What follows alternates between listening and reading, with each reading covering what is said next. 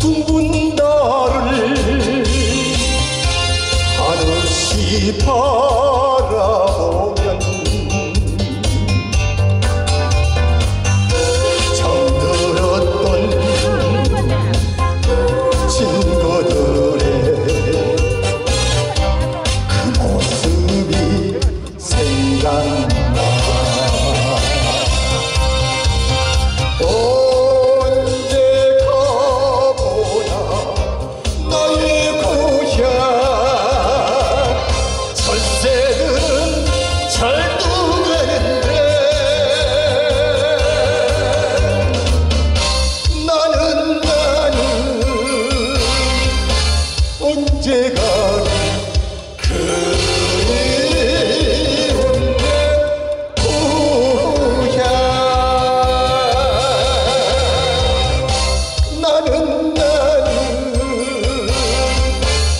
언제가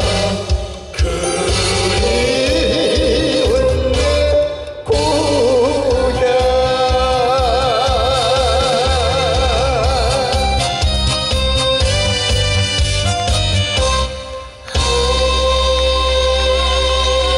대단히 감사합니다.